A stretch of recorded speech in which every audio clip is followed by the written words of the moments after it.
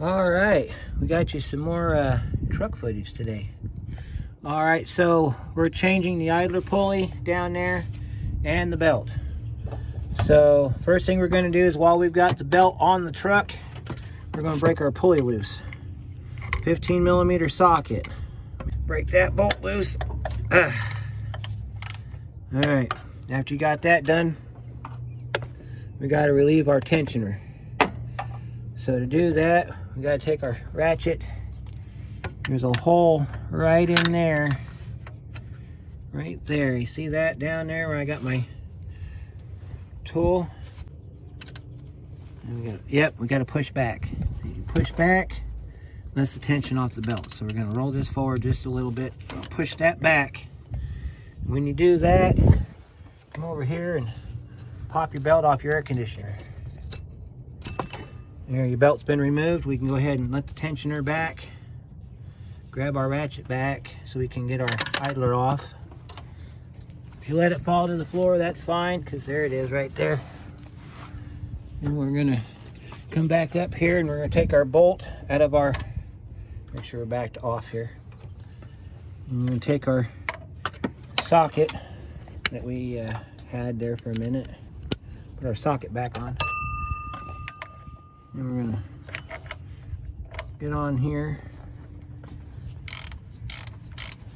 Take this tensioner off.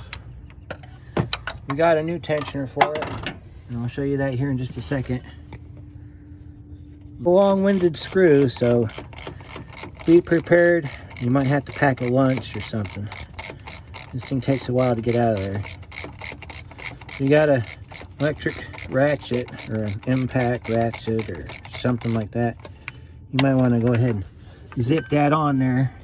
You can see the back side of it's just about out, so we're going to pull our socket back up and see if we can turn it out by hand, which we can, so we're good to go here. We'll have our pulley off in just a second. You see it down there? Just a second, we'll have this pulley off. Yeah, this one's starting to squeal. It makes a little chirping noise from time to time. So when it does that, it's time to change it. And there we have one pulley. Okay, so we're gonna set our camera like that. See this piece right here? This piece right here is your lock. You wanna take that off so you can get your bolt out. Pull your bolt out. See, it's got another alignment lock and a flat washer. This is your pulley. This is an original Ford pulley, so I'm not surprised that uh, starting to squeal. It's got 213,000 miles on it, so it's about to happen. Here's our new pulley. Compare it to the old pulley, it's the same size. See, it's the same size. Same pulley. All right, to put this together, take your bolt, push your lock through like that. You want to take this piece and you want to spin it down on your threads. This is what holds it all together. So you're going to spin this down. See that? Can you see that okay? Yeah okay. Spin that down until it locks on. Get it down as far as you can. All right. See that's what it looks like when it's all back together again then you're going to put this back on Let's look up our torque spec. I'm not sure what the idler pulley torque spec is. Okay, so for our torque spec, it doesn't have one in the book. Closest thing I could find is drive belt. The belt tensioner torque, which is 30 to 40 foot-pounds. So we're just going to use that for our torque value. We're going to torque it to 40 foot-pounds. If I can find a spot to put you here where you can actually see what we're doing here. Oh, that's a really good spot if I get it to stay. Oh my goodness.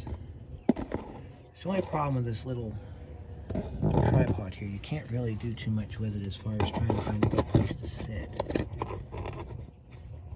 Well, you can sit right there. You're hanging off the ABS module. So, I think you can see what we're doing, or at least get the general idea here. So we'll put our torque wrench down on our bolt down here on the bottom. You might have to take your hand and turn your socket just a little bit to where you can get it to go on like this. As soon as you get your socket on, get you some leverage here and just pull up till it goes click.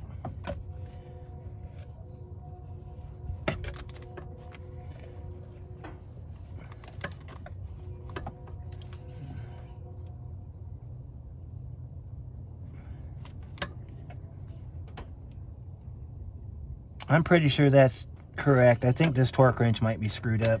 I really need to stop using it. Because it should have clicked already. That's proof that not all torque wrenches are the same. So while we're in here, we got to get our belt changed. So let's get our belt off.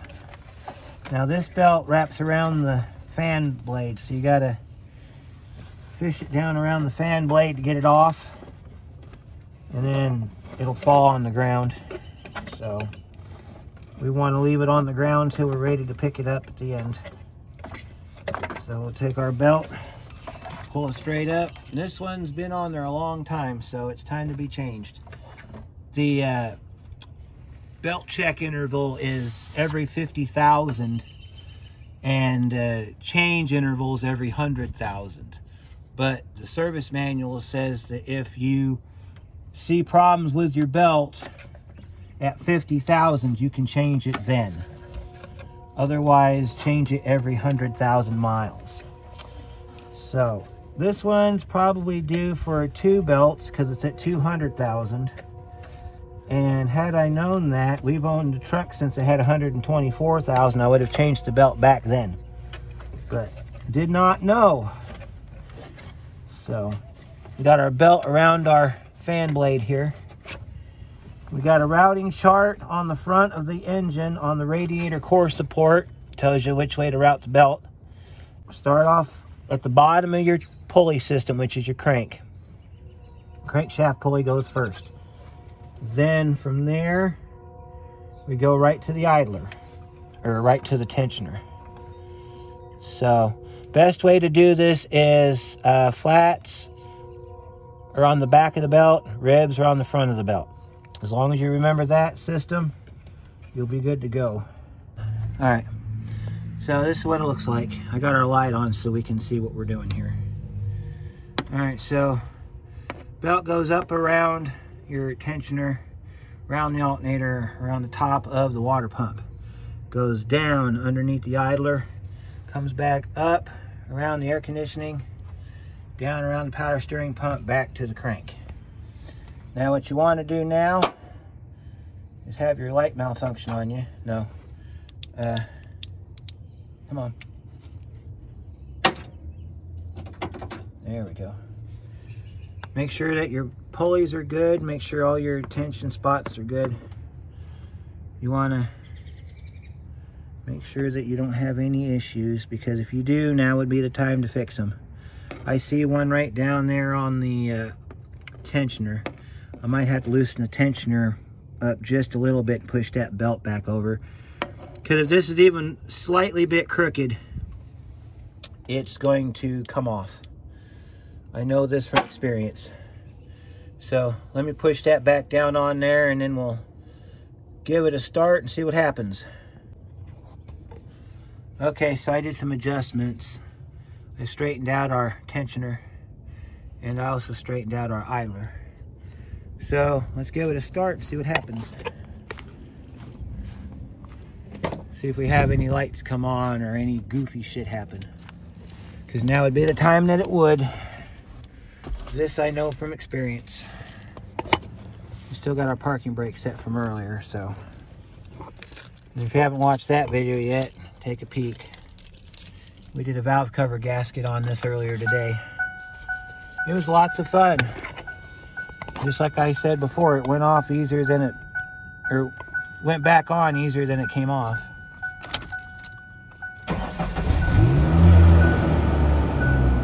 Well, I don't see no lights pop on. I don't hear any kaboom sounds, so I think we got it made. Let's take a look.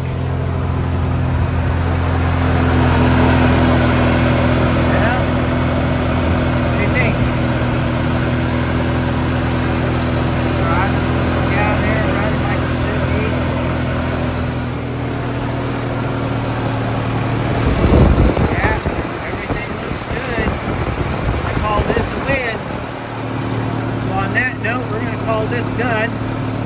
Thanks for watching. We'll see you again soon on the next one. Be safe out there.